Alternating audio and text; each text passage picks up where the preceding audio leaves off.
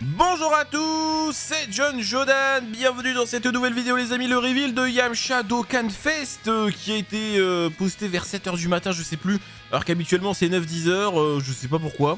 Alors à moins qu'ils aient d'autres trucs à poster après et du coup ils ont pris de l'avance, enfin je sais pas, c'est très bizarre. Ou alors ils se sont trompés, hein, après tout, hein, tout est possible, ou alors maintenant ils vont poster à 7h, enfin bon j'en sais rien du tout. Mais il est là et euh, de ce que je vois, parce qu'évidemment comme d'habitude je ne connais rien euh, de la carte, euh, mais je vois pas de personnage derrière, donc a priori pas d'histoire de spé jointe, hein, même si en soi... Bon c'est vrai qu'ils auraient pu rebidouiller, mais bon c'est vrai que bah, Yamcha fait pas de spé jointe avec les autres personnages, hein, donc c'est pas très étonnant non plus. Mais bon ça aurait permis de, de, voir un petit peu tous les personnages, bon ça a pas l'air d'être le cas, donc on va voir qu'est-ce qu'ils proposent, hein, évidemment.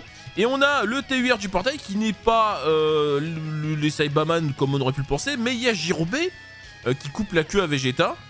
Euh, donc pourquoi pas, c'est cool, c'est cool. Euh, à il va être, je sais pas pourquoi, mais à je suis sûr qu'il va être broken lui, hein, parce que on va voir. Mais à ça va être, ça va être assez fort. Bon bref. Allez, on est parti pour les animations, les amis, comme d'habitude. C'est parti.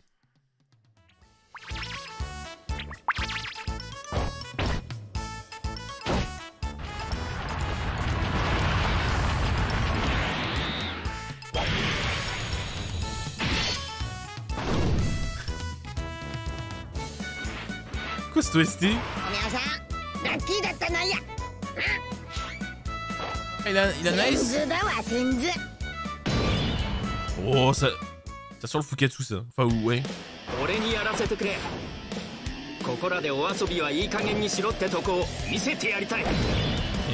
Forcément.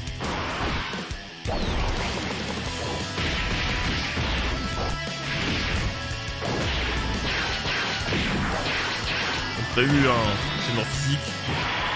Et le Kamehameha.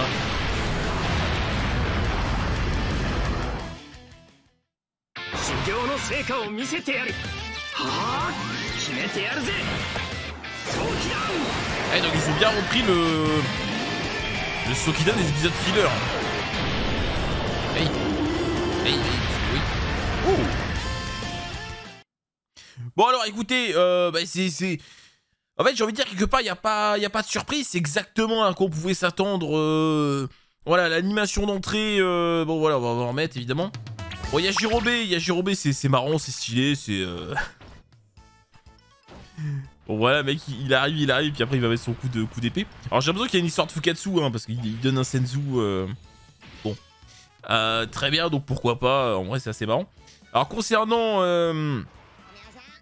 Concernant Yamcha euh, bon l'animation d'entrée évidemment c'est le moment où il, se désigne euh, volontaire à la place de Krillin bien sûr. Euh, bon voilà c'est sympa mais c'est fait hein, ça dure pas très longtemps. Mais en même temps, comme on l'a dit, il n'y avait pas grand chose à faire non plus. En fait, tout, ce qui était possible d'utiliser a été utilisé sur ce personnage. Parce qu'en même temps, il n'y avait pas grand chose. Donc forcément, euh, bon, voilà. Après, l'aspect euh, passera bien en x2, mais elle est stylée. Hein, le moment où il court, là, petit, petite, petite retournée. Voilà, euh, l'ATP, le Kamehameha qui est très très très bien reproduit. C'est super joli, hein, franchement. euh, avec les petits effets de, de, vitesse. Donc ça rend super bien. Et puis on a la S, le Sokidan, qui n'est pas présent dans l'Arc Saiyan, mais qui est présent, enfin, qui est présent dans les épisodes filler face à des scènes qui n'existent pas en vérité. Euh, et bon, bah c'est plutôt joli, hein, ça, rend, ça plutôt bien. Donc bon, c'est ok, c'est le taf est fait quoi. Le taf est fait, hein, ça rend super bien, l'explosion est très belle. Maintenant, c'est vrai que j'aurais kiffé qu'il soit plus soit plus aventurier, hein, parce que le truc qui aurait été stylé à faire, c'est un Yamcha qui meurt, mais qui meurt pas. Voyez? Il meurt et en fait il meurt pas tu vois. Genre euh, tu vois t'as une explosion et puis en fait tu vois qu'il est encore là en mode ah bah non en fait je suis pas mort euh, tu vois. Ça ça, ça aurait été ambitieux. Mais bon euh, fallait pas trop en demander non plus les gars. Donc vraiment on a on a le classico quoi. C'est voilà ils ont concentré tout ce qu'ils pouvaient concentrer par rapport à Yamcha à ce moment là et ils ont tout mis il hein, y a rien d'autre à utiliser hein, clairement à part du fighter on aurait pu utiliser des trucs. Sinon voilà c'est tout hein, vraiment euh, on a tout ce qu'on aurait pu imaginer donc extrêmement prévisible, par contre c'est très bien réalisé, hein. ça a l'air extrêmement net, que ce soit l'aspect, l'AS, tout ça, ça a l'air super net, euh, nickel, rien à dire. Donc euh, ok, ok, bon ça, ça, reste surprenant encore une fois comme choix, mais bon, au moins c'est là. Bon maintenant après, peut-être Krillin un jour quand même, parce que bon oui, quand même oui. Bon allez les amis, on est parti pour les statistiques, merci à Goresh pour la traduction bien sûr. Alors là, KT, enfin le leader... Euh, ah, nouvelle catégorie. Euh, guerrier élevé sur la terre. Ok, ok, ok. Bah. Alors du coup, ça va regrouper quand même beaucoup de persos là. Parce que guerrier élevé sur la Terre, donc évidemment il y aura tous les Goku, il y aura tous les Gohan, etc. etc. Donc du coup ça va faire potentiellement un petit peu de monde. Euh, Arc en deuxième, ok, bah, bon vu qu'avec Raditz en vrai c'est cool. Euh, full stat et derrière... Euh... Ah d'accord, et après le, le, leader de ça c'est que pour les unités terriens. Ouais... Ouais... Il a pas d'autres... Attends, attends c'est faire le... Il n'y a pas d'autres... Avait pas d'autres conditions là? Il me semble en fait, c'est bizarre. Attendez, je vais regarder. Regardez le leader, là il y a deux trucs. Ouais, il y a deux catégories là. Attends, euh, alors j'ai mal lu, euh, attendez. Attends, extra machin. C'est bien ça, c'est bien ce qui me semblait. Euh, c'est bien ce qui me semblait. Donc, et, donc, bonne nouvelle, terrien ou école de la tortue. Et là, ça me plaît beaucoup plus parce que c'est-à-dire que les Goku vont être lead à 200% par exemple. Voilà, merci. Donc, euh, c'est euh, guerrier élevé sur terre, Arc Saiyan et 200% terrien école de la tortue. Là, d'accord, là, là, je préfère parce que sinon, je trouvais ça un petit peu flingué parce que bon, les persos terriens. Voilà, donc, ok. Euh, petit oubli, il l'a peut-être précisé après, je sais pas, hein, j'ai pas vu, mais bon. Euh, le, enfin le cam, enfin le l'aspect augmente l'attaque pendant un tour, ça sert strictement à rien, à moins qu'il ait un compte, mais, ben non, il n'en a pas. C'est de grande chance de stun, ok. Bon. Animation d'entrée qui peut être activée s'il y a 5 ou plus alliés euh, guerriers élevés sur terre dans la team.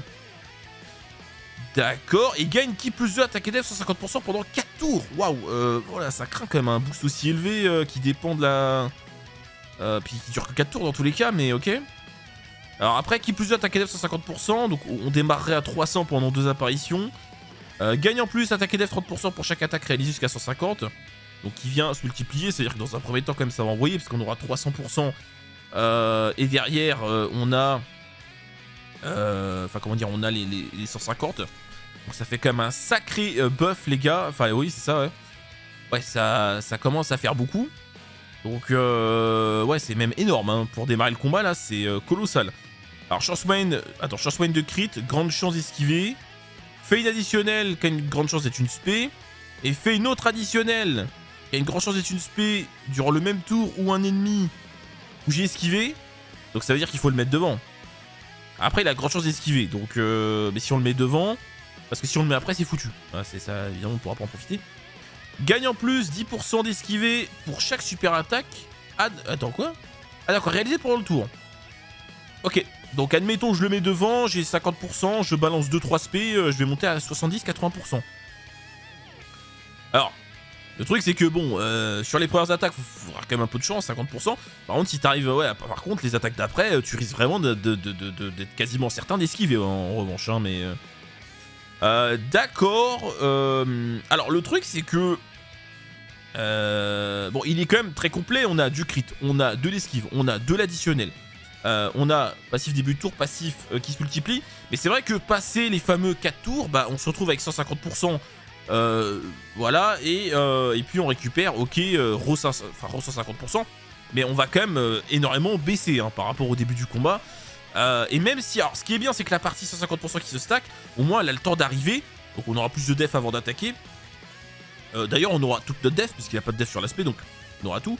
Mais bon, je pense pas qu'on aura tant que ça. Alors d'ailleurs, au niveau des stats, euh, il a combien? Je crois qu'il a pas, voilà, 6280, c'est pas terrible hein, en vrai, hein, c'est pas terrible du tout. Euh, alors, au début du combat, ça va être impressionnant, mais enfin, il y a encore, ça va être impressionnant avant d'attaquer, pas tant que ça non plus, mais enfin, avant de commencer à stacker, mais euh, bon, il y a de l'esquive et tout, donc ça va. Mais après, une fois qu'on a passé les deux apparitions, euh, ça me fait un peu peur quand même. Hein. À mon avis, ça va pas être extraordinaire tout ça quand même. hein. Euh, ce sera pas mauvais, hein, mais euh, bon, après, évidemment, il y a l'esquive qui est là, d'accord, mais euh, oui. Mais ouais, bah, ouais, quand l'esquive est pas dispo, le perso perd pas mal d'intérêt déjà, hein, mais vraiment, ouais, une grosse partie de son intérêt. Pour pas dire tout, hein, parce que, ouais. En fait, là, clairement, je vous le dis, hein, mais Bon, faudra tester, on testera, mais là le problème c'est que encore une fois, si jamais il avait eu ne serait-ce que attaque et def, ça changeait pas mal de choses. En plus le perso additionnel et tout, donc ça changeait. Là, euh, ouais, là euh, passer les 4 tours, euh, et sachant que si tu joues pas la catégorie, bon, bah du coup la catégorie, tu t'as même pas ce boost au début du tour, au début du combat, et, tu te retrouves avec 150% de base, et puis après euh, stacker. Alors l'active skill peut activer 4 tours. Attends, 4, non, 4 attaques esquivées. Quand tous les alliés qui attaquent dans le même tour sont. Euh, attends, c'est ouais, c'est bien où hein, Ouais, or, euh, ok. Bah, sachant que a priori, de toute façon, si on veut jouer le perso, on va, on va jouer la catégorie, donc euh, euh, c'est à dire qu'on peut la faire quand on veut. Alors dégâts ultime et tous les attaques sont ok, tous les attaques, ok, bah du coup très cool. Hein. 4, attaques esquivées dans tous les cas, c'est pas très long. Ou alors on peut le faire direct et on crit sur tout le tour. Alors là, franchement, les gars, très très cool. Franchement, Battle Road, le personnage, quand même, vu qu'il a son boost instant, enfin, il, aura 300 au démarrage. Plus ça, tu peux le faire direct, il peut stun, etc., etc. bon, c'est quand même plutôt sympathique. Au niveau des liens, école de la tortue, solide machin, enfin soutien infaillible, fonceur, Z-Fighter, vitesse époustouflante, Kamehameha, combat acharné, bon ce qu'on pouvait attendre hein, clairement de ce personnage. Et donc on a 6 catégories, hein, ça fait pas beaucoup, mais euh, on pouvait pas avoir beaucoup plus que ça de toute façon, hein, sachant qu'il y en a une nouvelle. Donc les gars, je... C'est un peu difficile de, conclure là-dessus. Euh... Euh, vous savez, même sans def sur l'aspect, ça va pas monter très haut. Hein. En fait, j'ai presque envie de vous le calculer pour vous on va le faire, vous savez quoi, on va le faire, parce que de toute façon, je sais même pas si je vais pouvoir jouer le perso dans les bonnes conditions. Ouais, parce que là, vraiment, pour vous illustrer concrètement que ça va pas être exceptionnel, hein. Vraiment, hein. Donc du coup, euh, ok, on va prendre... Alors, on va prendre 100 doublons. On va prendre 100 doublons, euh, déjà, pour commencer, puis après, à voir, mais 8280. Ok, le lead, bon, les liens, il n'y a, pas, a pas vraiment de défense, hein, c'est vite fait. Donc, au démarrage, au démarrage, on a, on a les fameux 300%. Si la condition est remplie, bah, tenez-vous bien, hein. Vous savez à combien on démarre? Même avec 300%, bah on démarre pas bien haut, hein. 170 KDF. Alors oui, il peut esquiver. Mais, euh, oui. Mais enfin bon, si t'esquives pas en SBR, c'est là, c'est 200 k l'auto presque, hein. Ah oui, ah bah oui les gars, hein. pour peu que ce soit des extrêmes en face, c'est 200 k l'auto là. Ok, c'est 50% d'esquive, hein. Sachant qu'éventuellement on te demande de le mettre devant. Alors, une fois qu'il récupère les 150 autres pourcents, on passe à 434. Et vrai, alors c'est pas mal, hein. 434 KDF, les gars, c'est pas mal. Euh, mais euh, alors n'oubliez pas un détail, c'est que c'est pas permanent. Puisqu'après on perd, on perd 150%. Et ouais, et donc du coup là, euh, si je vous refais le calcul de ce qui reste, eh bien, une fois qu'on a perdu les 150 du début, eh ben on se retrouve à 270 KDF. 270 KDF, un Fest qui vient de sortir.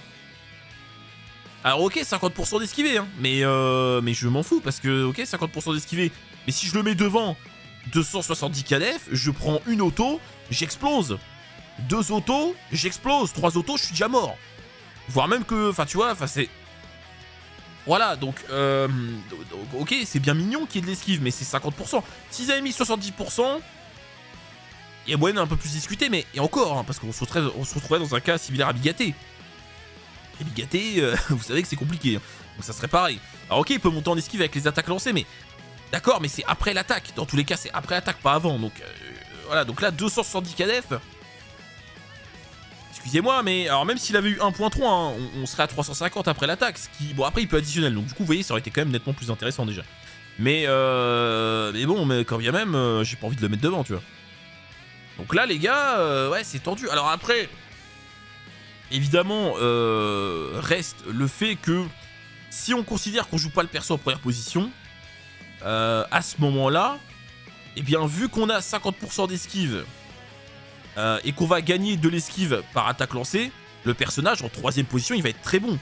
Il va être très bon, parce que du coup, on a le temps d'aller chercher de l'esquive, donc on va monter à 70% d'esquive, voire, voire 80, mais admettons, enfin, bah, de toute façon, oui, ce sera au, maximum 3 attaques, de toute façon, on pourra pas avoir l'autre. Mais voyez, on va monter à 70% d'esquive éventuellement. Ok, après, mais après, je dis ça, mais quand même, même si je fais qu'une spé, parce que c'est possible, je suis à 60% d'esquiver, 270 KDF, si je me fais attaquer, je me fais défoncer. Hein. Et même si je calcule les stats 100%, parce que vraiment, ça va pas monter énormément plus haut, même en prenant les stats à 100%, les gars, ça va pas être si fou que ça. Hein.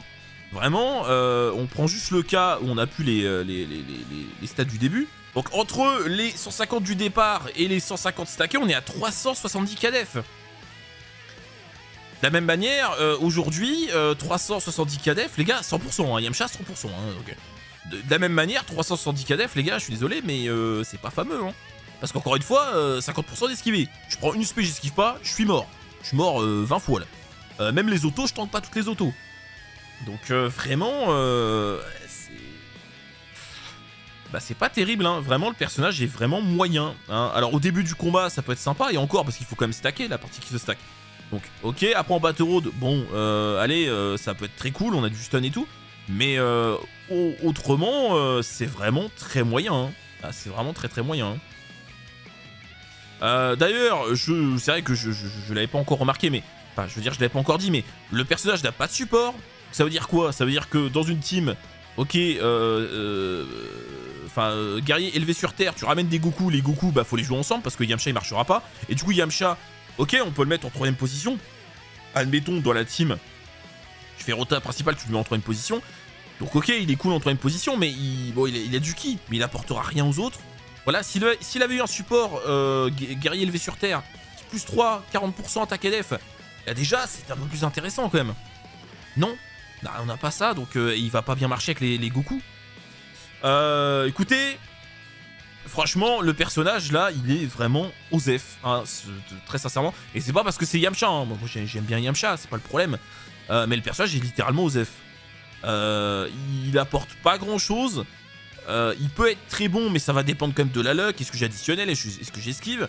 Dans tous les cas, en première position, c'est très risqué de le jouer. Dans tous les cas, alors qu'on nous demande de le faire, donc... Vraiment, le perso là, il est... Et euh, il est vraiment pas terrible. Et ça aurait pu être plus ou moins sauvé par, euh, par un 30% def sur l'aspect, mais on l'a pas. Donc, euh, franchement, les gars, je sais pas, je sais pas, ils avaient peut-être pas envie de respecter vu que c'est Yamcha, je sais pas, mais, mais bon, Yamcha, à mon avis, ça a été quand même un personnage important. Sa mort, elle est, horrible et tout. Mais euh, je pense n'a rien à voir. Hein, mais bon, la S, la S c'est bien. La S, les conditions de la S, c'est très cool. On crit et tout. Très bien. Les liens, c'est cool. Mais par contre, le passif et l'aspect, du coup. le leader était intéressant si Yamcha était un support. Pas le cas. Les gars, on fait pas plus long, mais euh, c'est vraiment Osef. Euh, c'est terriblement Osef. Bon, d'un côté, c'est peut-être pas plus mal, au moins, ce sera moins tentant. Euh, Yajirobe, Yajirobe, je sens qu'il va être bon. Au moment de massivement la def, 100%, bloque l'aspect, ça commence déjà plutôt bien. Qui est plus 3, attaque et def, 150%. Ouais, euh, tous les alliés qui plus 1, attaque et def, 30%, autre que ce personnage. D'accord Ok, gagne en plus défense 120% et tous les alliés autres que lui Gagne qui plus 1, attaque def 20% pendant 3 tours quand il prend... En 3 tours, ok, quand il prend... Euh... Quand on prend des ki en tant que troisième attaquant. D'accord. Euh... Alors normalement c'est un boost qui s'additionne, mais du coup ça fait passer le passif à qui plus 2, attaque et def 50%. Donc tous les alliés sauf lui. Euh, troisième, bon, on vous invite à le jouer troisième position, ok.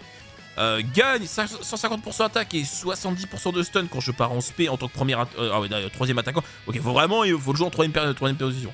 Gagne 70% d'esquiver après avoir reçu une attaque en tant que troisième attaquant. Ouais, Ok, donc là c'est littéralement joue-le en troisième position, on va te faire foutre. Parce que là, euh, d'accord. bon, d'un côté, a priori, c'est ce qu'on allait faire parce que j'imagine que les liens ça va être un peu compliqué. Mais là, du coup, en tant que troisième attaquant, le perso va être excellent. Voilà. Et donc on a bien un Fukatsu, survie au chaos une fois par tour, euh, régène 10% à la fin du tour. Ouais mais euh, attends, alors survie au chaos, mais euh, lui, lui ou tous les personnages? Je sais pas. Alors après il y a un S à survive, donc ça voudrait dire que ça concerne lui. Mais quand même à vérifier cette info parce que vous savez, le Fukatsu, des fois ça concerne qu'un perso, des fois ça concerne toute la rotation. Euh, si c'est toute la rotation, c'est craqué. Si c'est que lui, bon, c'est moins craqué parce que bah, il a quand même beaucoup de mécanique et il y a des chances qu'il meure pas tout simplement. Donc euh, après, si ça arrive, tant mieux. Ça veut dire que vraiment le perso, tu peux, tu peux y aller, euh, sachant que c'est écrit une fois par tour. Donc ça veut dire que si tu meurs dessus, bah, tu meurs pas. Tu, tu voilà. en fait, tu ne pourras pas mourir sur ce personnage. Dans tous les cas. Donc c'est déjà cool. C'est déjà cool. Alors par contre, c'est toute la Non mais après, si toute la rota, c'est craqué parce que. Non mais en fait, c'est pas possible. Parce que vu que c'est une fois par tour, c'est pas possible. Parce que du coup, on serait littéralement invincible. Euh, enfin, oui et non, parce qu'il est pas là tout le temps, mais. Euh, admettons, mais euh, ouais, non, ça doit être que lui, mais en vrai, c'est quand même cool, parce que c'est-à-dire qu'on peut pas mourir dessus, tout simplement. Vu que c'est une fois par tour, on ne peut pas mourir dessus. donc ça, c'est quand même plutôt cool. Après, il va être bon parce que on a quand même 150% de base en def. On a 120%. Ouais, c'est ça, hein. Voilà, c'est ça. Donc 120, 270. Euh, plus les 100% sur l'aspect. Et 70% d'esquiver après avoir reçu une attaque. Donc euh, le perso risque quand même de plutôt bien se démerder euh, à ce niveau-là. Il bloque l'aspect, donc très bon. Alors, très bon en troisième position. Sur le sort de la troisième position, euh, là pour le coup euh, c'est beaucoup moins intéressant puisqu'on va récupérer que le début du passif et là, euh, et là c'est beaucoup moins intéressant. Clairement, donc là il faut le jouer troisième position sinon, sinon c'est pas très intéressant. Bien que dans n'importe quelle position il sera, il peut pas mourir. Mais bon. ok, au niveau, ah oui donc l'active skill. oui, donc, en fait, oui, donc l'animation Senju, ça n'a rien à voir avec, ça en fait, avec le chaos en fait. Hein. Ça n'a rien à voir en fait. Hein. Ça n'a rien à voir. Donc, euh, ok, bon, c'est ok. Euh, donc, ça n'a rien à voir. Peut activé 5... Euh, attends, après, attends. 5 tours. Euh, début du combat. S'il y a un autre perso, guerrier élevé sur Terre, qui attaque dans le même tour. Pas très compliqué. Ah, et PV 40% au moins. Bon, d'un côté, c'est logique qu'il y ait ça par rapport au Senzu, mais... Récupère tous les PV et retire tous les... voilà, on retrouve l'effet du Senzu, item, hein, si jamais il y a des blocages ou autre. donc ouais, bon, il y a quand même... alors, il y a conditions de tour. Attends, oui, c'est écrit... Ouais, c'est bien et, hein. Donc, conditions de tour, conditions euh, d'alliés machin euh, dans la rotation. Et euh, ouais. Ouais. Ah non, attendez, non, non, non, non, attendez. Alors si c'est ça, peut activer 5 tours ou plus après le début du combat, quand il y a que des alliés machin, et qu'on a en dessous de 40%. Ça fait quand même pas mal de, conditions. Bon, après, c'est un TUR lambda, donc c'est quand même cool d'avoir un AS dessus. Au niveau des liens, comme prévu, c'est un peu compliqué. Hein, voilà, on a, le lien lâche. bon, on a fonceur, bon, on a guerrier tenace. C'est quand même marrant d'avoir ça, mais bon, ok. Euh, combat charlie. Bon, ouais, au niveau des liens, c'est un peu compliqué. Donc, 4 catégories, donc c'est un peu normal. On l'aurait a priori joué en 3 position, mais très bon, très bon perso 3 position. Euh, dans toutes les teams où il est jouable, euh, perso totalement à ramener. Hein. C'est euh, très très bon personnage. Comme, comme je m'y attendais. Donc très bien. Écoutez les gars, on va s'arrêter là. La vidéo est assez longue parce que l'analyse de Yamcha était un petit peu longue, mais bon, c'était un peu nécessaire. Donc Yajirobe, excellent. Yamcha, terriblement pas ouf. Hein. Il peut être très bon s'il esquive, mais voilà, RNG, plus RNG de l'attaque additionnelle, euh, pas de def sur l'aspect, ce qui limite grandement ses stats. comme vous l'avez vu tout à l'heure, je vous ai donné littéralement les stats pour le coup. Donc c'est vraiment pas terrible, hein. c'est vraiment pas terrible. C'est dommage, les animations sont très clean, très jolies, donc bon. Voilà. Donc là, sur la Jap, sur la, sur c'est du free skip, mais totalement. Et euh, quand ça arrivera sur la globale, pareil, c'est du free skip euh, sans problème. Là, c'est gratuit. Voilà. Bon, sur ce, les amis, on s'est là-dessus. N'hésitez pas à lâcher euh, le petit pouce bleu, à vous abonner si c'est pas déjà fait. Puis on se retrouve tout à l'heure pour les invocations sur la version globale. Et je viens de remarquer que ma page internet était trop grande par rapport à mon overlay. Excusez-moi, mais en fait, ça va pas changer grand-chose. Vous l'avez sûrement même pas remarqué. Mais c'est pas grave. Sur ce, les amis, petit pouce bleu. N'hésitez pas à vous abonner si c'est pas déjà fait. Et bisous à tous. À très bientôt. Salut